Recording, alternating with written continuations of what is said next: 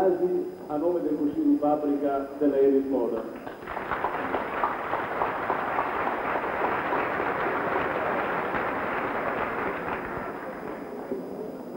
partire abbiamo avuto un, un mandato dagli operai dell'Eris Moda.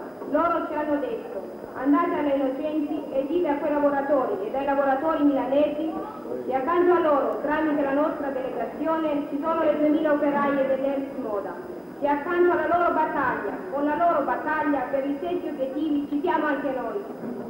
Noi abbiamo accettato senza indugio, con entusiasmo, ed oggi siamo qui con voi. Questa nostra esperienza quindi vuole avere il significato più alto di unità nella lotta per gli stessi obiettivi.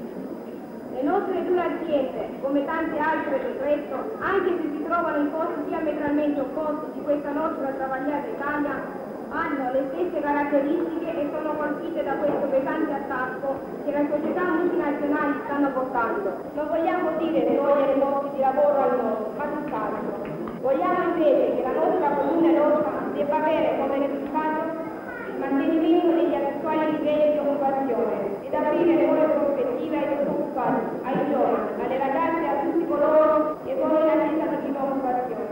Viva la lotta dei lavoratori delle innocenti, viva la lotta delle lavoratrici dell'Eris Moda, viva la lotta di tutti i lavoratori che difendono il popolo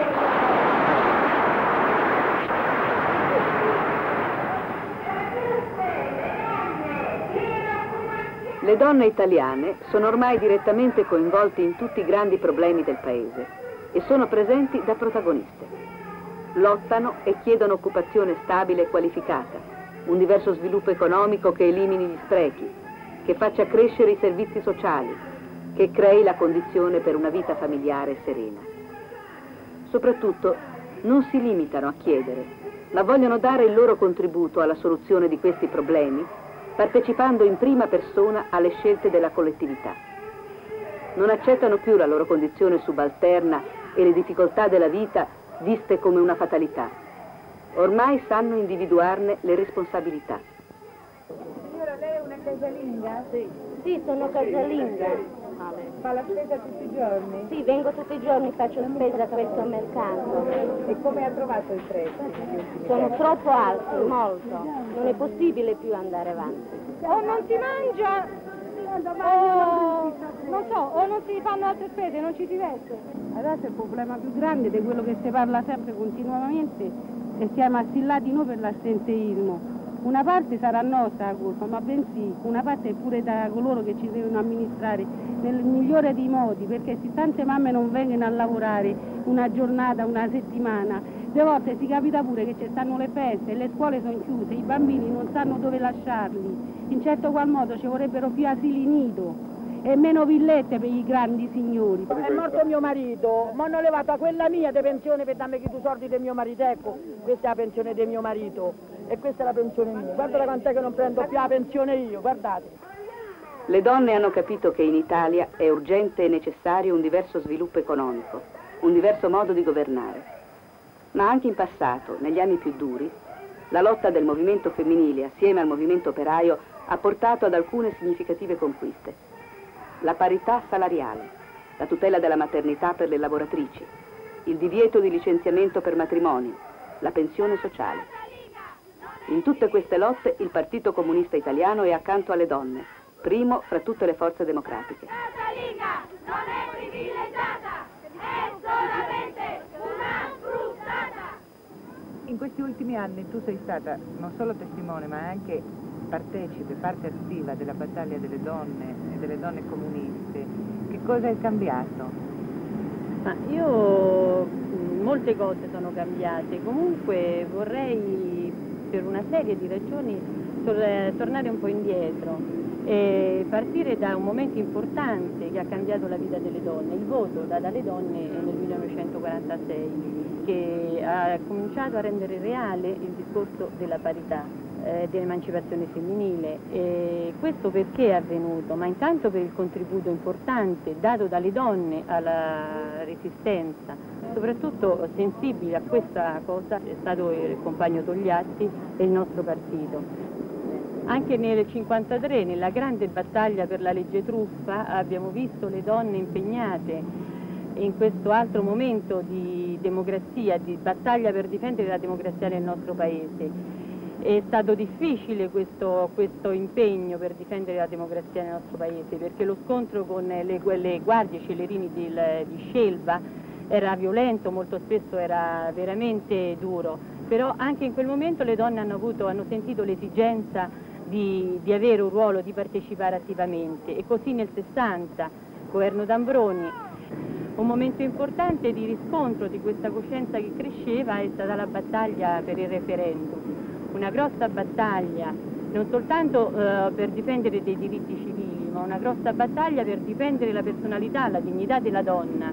Con il voto le donne hanno condannato tutto ciò che di reazionario eh, c'era, hanno dato un colpo grosso alla reazione alla democrazia cristiana soprattutto, che le vedeva sempre massa di riserva, eh, queste donne alle quali lei poteva attingere sempre in ogni confronto elettorale, bene, con il 12 maggio le donne hanno detto alla democrazia cristiana che erano cresciute, che era cresciuta la loro coscienza, la loro capacità di decidere e di giudicare, eh, condannando questa forza politica eh, così eh, importante nel nostro Paese, dimezzandone il ruolo e dimezzandone la forza anche elettorale. Il 15 giugno 1975 la scelta delle donne si è orientata a sinistra e moltissime hanno dato la loro fiducia al Partito Comunista Italiano. Hanno votato comunista le protagoniste di lunghi anni di lotta, le giovani elettrici ansiose di rompere vecchie concezioni, ma anche molte donne provenienti da altre esperienze ideali e politiche, spinte da una profonda esigenza di rinnovamento.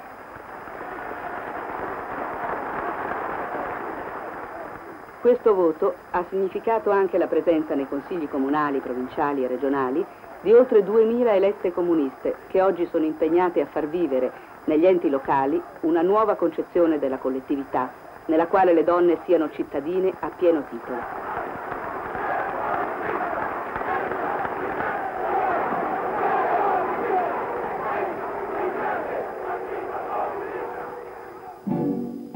I decreti delegati sono stati una nuova conquista della democrazia. Per la prima volta studenti, genitori, insegnanti si ritrovano assieme a gestire la scuola. Una conquista che ne fa maturare un'altra. La partecipazione alla vita della scuola non per fare dell'ordinaria amministrazione, ma per operare un cambiamento profondo nei programmi, negli indirizzi, nel rapporto con la società. Più di altri le ragazze pagano il prezzo di un sistema educativo arretrato con la frequenza di scuole spesso senza sbocchi e quindi la marginalità nel lavoro e la disoccupazione. Le giovani sempre più si pongono il problema del diritto al lavoro, di un nuovo rapporto fra i sessi, di una famiglia centro di solidarietà e di affetti. Ma vedono questi valori in una società diversa, dove la donna sia persona non solo nelle leggi, ma nella vita quotidiana.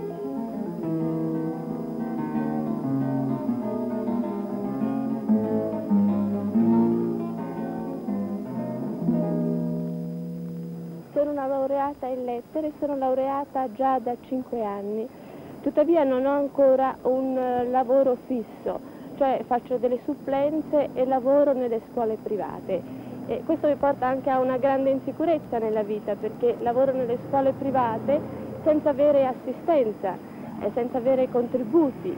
E questo però non è unicamente un mio problema personale, ma è un problema che riguarda anche moltissime altre persone. Una collocazione sociale più giusta e un nuovo ruolo nella famiglia, hanno chiesto le donne scendendo in piazza, pienamente coscienti che la conquista del diritto di famiglia, in cui è stato determinante il contributo dei comunisti, non è solo un fatto giuridico, ma dà alle donne una nuova dignità, sancisce la parità di diritti e di doveri fra i coniugi, stabilisce un rapporto diverso con i figli, riconosce la comunione dei beni. Ma se la donna è cambiata, la società deve ancora cambiare molto. Chi ha governato il paese in questi anni troppo spesso non ha voluto applicare le leggi, duramente strappate dal movimento, né tener conto delle nuove esigenze delle masse femminili.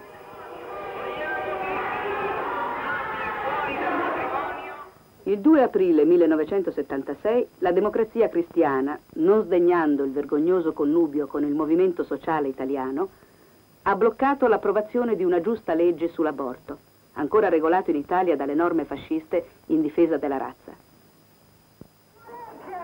3 aprile 1976. Migliaia di donne scendono in piazza per condannare, insieme a questo voto, l'ipocrisia e il cinismo di chi vuole mantenere l'aborto nella sofferenza solitaria e disperata della clandestinità. L'aborto è un dramma, non è un reato, dicono le donne, e come tale la società deve risolverlo non con il carcere, ma mettendo ogni donna e ogni coppia in condizione di avere e di poter crescere i figli che veramente vuole.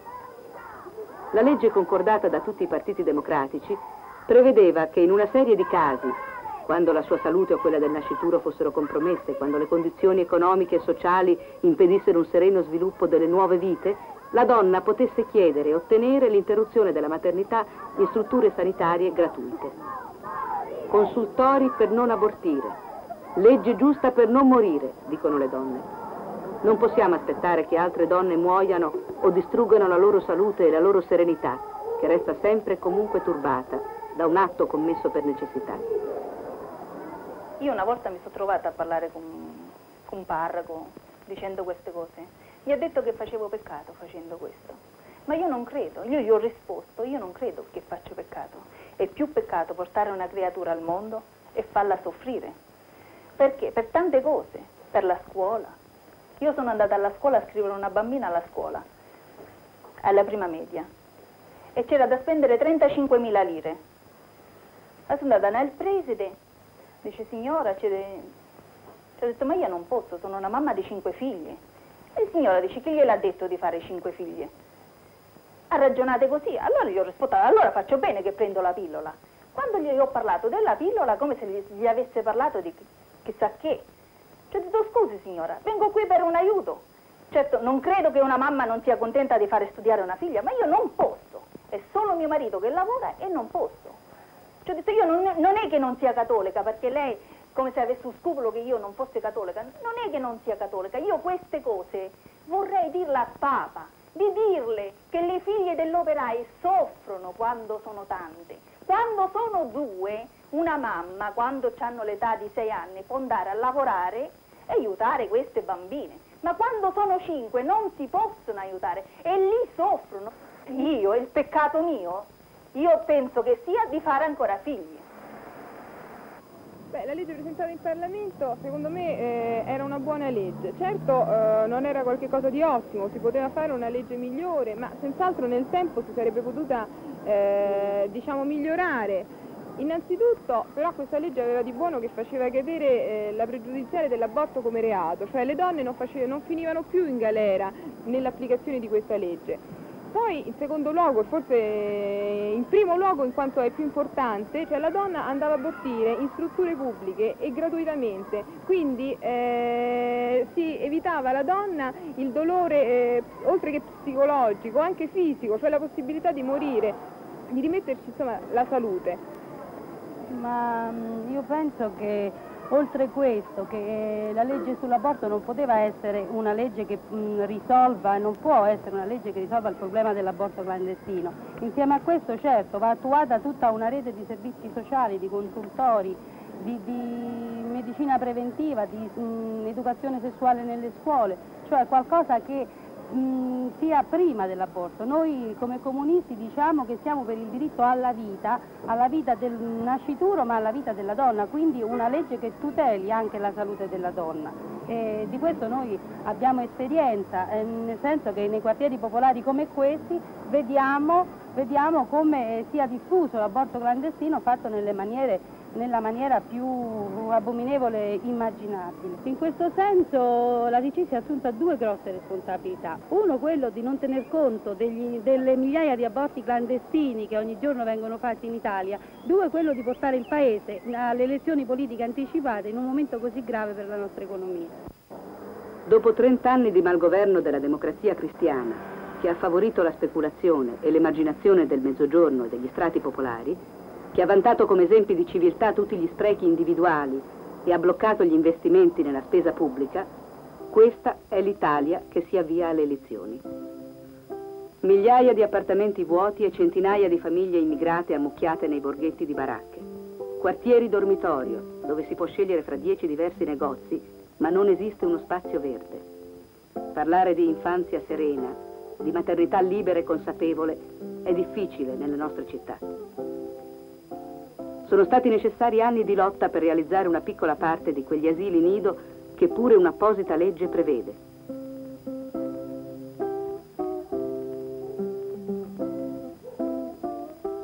Una delle ultime conquiste delle donne e delle famiglie italiane è stata l'istituzione dei consultori familiari. L'indomani dell'approvazione della legge in Parlamento, le donne e le forze democratiche nei comuni e nei comitati di quartiere hanno cominciato a concretizzarla, creando le prime rudimentali strutture e impegnandosi nella loro gestione. Siamo a Roma, al dodicesimo chilometro della via Casini. Siamo appunto i membri del comitato di quartiere di Giardinetti, un comitato di quartiere che naturalmente raggruppa tutti i vari strati sociali e le forze politiche democratiche della zona e che insieme con la circoscrizione, con le forze democratiche della circoscrizione, il 14 marzo è andato all'apertura del consultorio, insieme naturalmente con la partecipazione e, eh, con la partecipazione degli altri comitati di quartiere di tutta l'ottava circoscrizione, in quanto questo è l'unico consultorio dell'ottava circoscrizione. Che cos'è? Esatto, esatto. E si è aperto proprio dopo, eh, nel giro di due giorni dopo che è stata approvata la legge regionale sui consultori familiari. Ecco, eh, che cos'è il consultorio? Il consultorio è prima di tutto un servizio sociale che si occupa specificatamente di quei problemi che eh, sono attinenti alla sfera dell'educazione sessuale e quindi si occupa della prevenzione, eh, della contraccezione, dell'educazione. Problema è questo, abbiamo iniziato noi come comitato di quartiere a propagandare questo, questo tipo di servizio sociale eh, solamente per ora all'interno del, del, comitato di quartiere di Giardinetti, che è la zona poi più interessata. E questo l'abbiamo fatto già prima che si aprisse il consultorio con la partecipazione del presidente della consulta di circoscrizione che è un medico.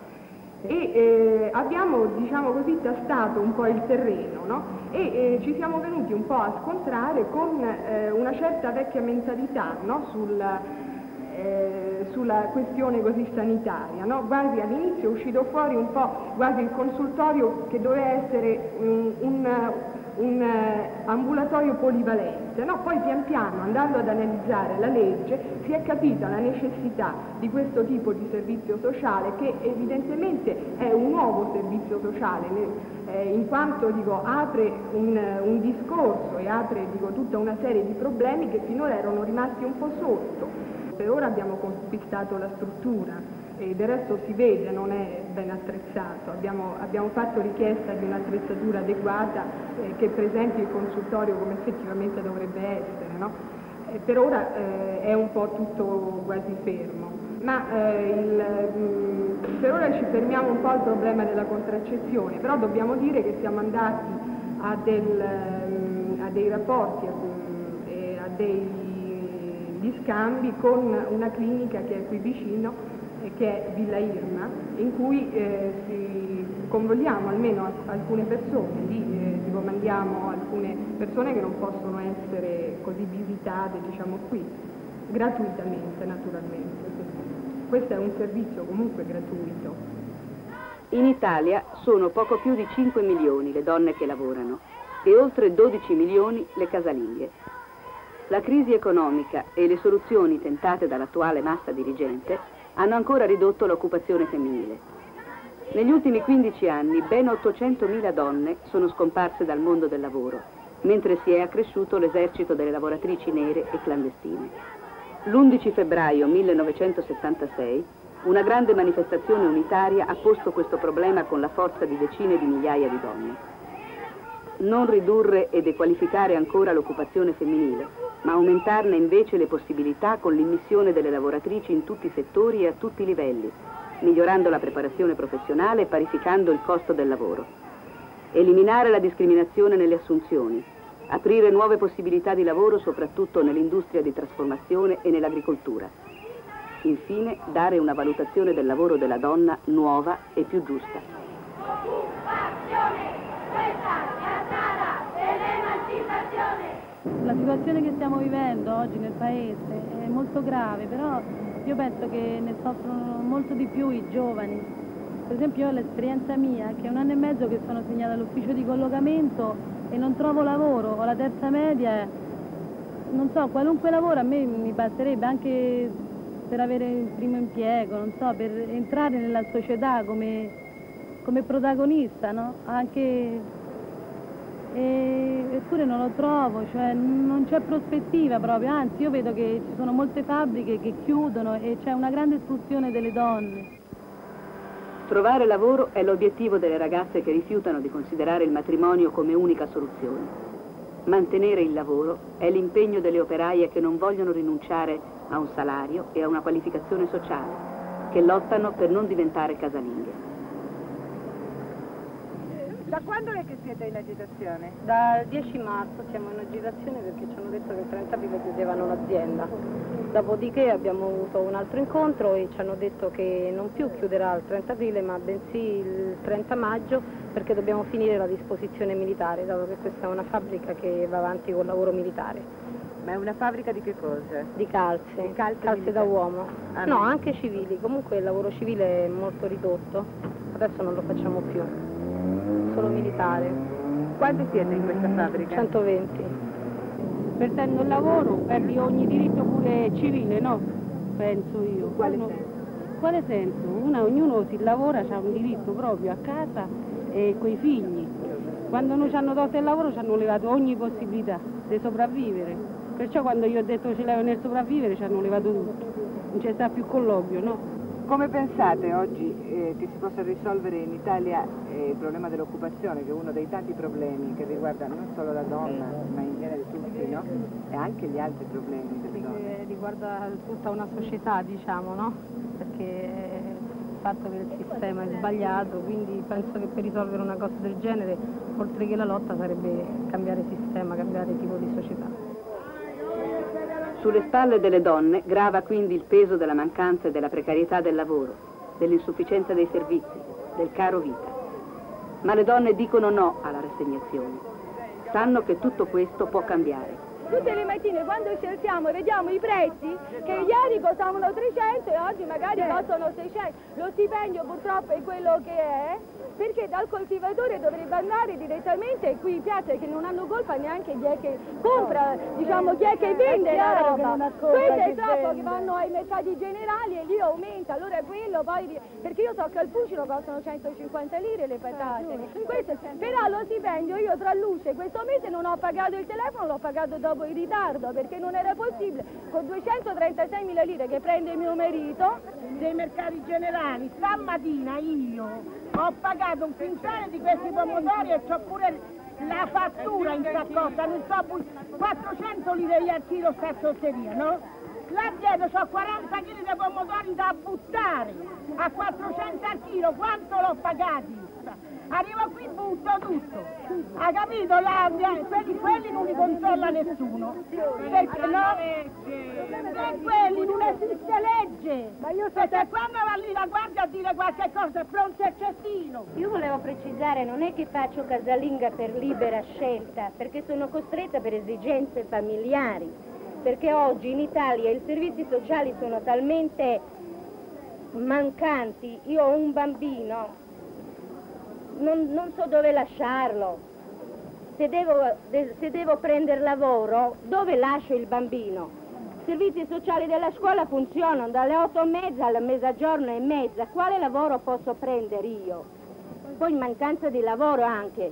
Non abbiamo logicamente possibilità di realizzare se stessi. Io non è che sono una femminista, ma ci sono uomini tante volte che dicono alla donna ma che fai tutto il giorno? Ma non credo, io penso solamente essere alla disposizione di una famiglia dalla mattina alla sera. È già, è già un grande lavoro per quadrare il bilancio, occuparsi del- della famiglia. La donna non è solamente che fa in una famiglia un lavoro, fa casalinga, fa domestica, fa la moglie, fa la madre, fa insegnante, fa educatrice, ragioniera, tutti i lavori li fa. Certo che oggi mh, significa occupazione femminile, significa stravolgere tutto il problema de, dell'assestamento della famiglia, cioè la famiglia è stata concepita anche per sostituirsi a, a dei servizi sociali che non ci sono, non esistono. Perciò oggi la, la donna è sobbarcata ad un lavoro eh, fortissimo e nel momento in cui invece la, la, donna si trova a voler esprimere il suo potenziale individuale, no? Cioè noi abbiamo degli esempi, eh, a parte le migliaia di diplomate disoccupate, ma anche le migliaia di partecipanti al, al corso delle 150 ore di casalinghe che vogliono porre lo, il loro problema nella società, mh, socialmente, così inserirsi anche come individuo al di là di essere mamma di famiglia. Io per esempio sono sposata, ho un bambino di 4 anni che adesso mi va all'asilo, ma non ho nessuna prospettiva e mi sento proprio frustrata nella mia condizione, non, non mi basta, non mi basta. A parte l'impegno sociale che uno può avere, no? Però non basta questo, io penso che oggi il lavoro, la donna sia qualcosa di, di, di necessario, oltre che importante per risolvere il problema economico, ma non è solo questo. Eh, quali sono gli strumenti per uscire da questa situazione? Eh, oggi è diciamo, eh, servizi sociali che da una parte servono a, a, a, creare una condizione nuova alla donna, ma anche lavoro per le donne, no? un inserimento nella scuola, cioè per le diplomate, per le insegnanti eccetera. E poi lo sviluppo del mezzogiorno, per esempio, per tutto il problema del carro vita, no? Che, che andiamo toccando no? in questo mercato. Significa sviluppare il mezzogiorno anche e quindi l'impiego anche di migliaia di donne nello sviluppo del mezzogiorno. Mm, abbiamo visto che cosa ha significato eh, per il nostro paese per esempio l'esodo massiccio, l'esodo, l'espulsione diciamo proprio come dalle campagne. Siamo costretti ad importare insalata, siamo costretti ad importare patate, a pagare 700 lire al chilo nel momento in cui l'altro anno nel Fucino sono state sotterrate quintali di patate, migliaia di quintali di patate. Questo è il problema fondamentale secondo me. Oggi invece con questo tipo di governo ci, ci troviamo a difendere i posti di lavoro, non è più possibile. Noi chiediamo alla gente di prendere coscienza di questa condizione e cambiare. Abbiamo le votazioni il 20 giugno, io invito tutti a votare Partito Comunista. Sono 30 anni che danno il voto a questi, sempre a questi, io no mai. Io, io poi vi devo dire, io non vedo aver perseguitato politico, mi hanno ammazzato il marito. Signora, il 20 giugno bisogna. Che dovevo fare? Dile a queste, no? Che devono Votate tutti comunisti.